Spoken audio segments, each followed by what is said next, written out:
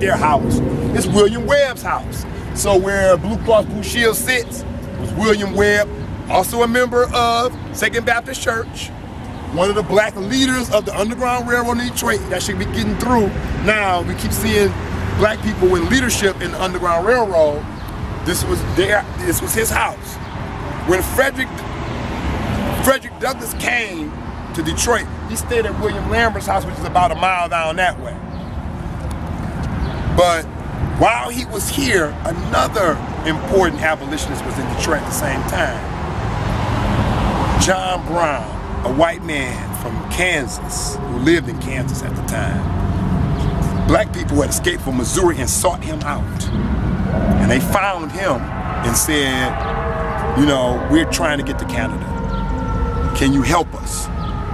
And he did. He brought them to Chicago first. Then from Chicago, he came here and he stayed at William Webb's house with the 13 black people who had escaped from slavery.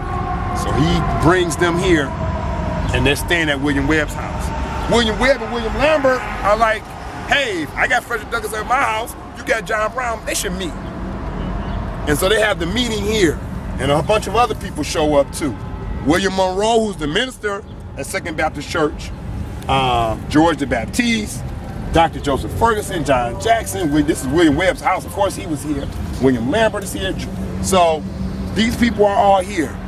And this is where um, John Brown tells his plan of what he's going to do to end slavery. Because John Brown is a white man. He's an abolitionist, but he believes that it's going to, he's going to have to kill other white people to end slavery. And he's already been doing it. In Kansas, he's already killed numerous white people who were there to try to bring slavery into Kansas. Uh, so he, um, his plan, of course, is to attack a military warehouse in, in Harper's Ferry, Virginia. Take the weapons from that military warehouse and pass it out to black people who are enslaved. They would go into the hills with the weapons and then protect the area in the hills. So as whites try to come up the hills, they would shoot them one by one. Black people would escape to these hills and be able to have refuge by armed black people. That's his plan. Somebody snitched. When he makes it to the military arsenal in Harper's Ferry, the militia is waiting for him captured him, his two sons, the other black people who joined him, and they sentenced them all to death. But the, Frederick Douglass, of course, doesn't believe the, didn't believe the plan was going to work. Right. You know, so he uh, doesn't join because he didn't he didn't think it was going to be successful. Frederick Douglass did believe bloodshed was going to have to end slavery, but he believed that black the United States government was going to have to be on the side of that bloodshed. They was going to have to be fighting to end slavery. So this is where they met.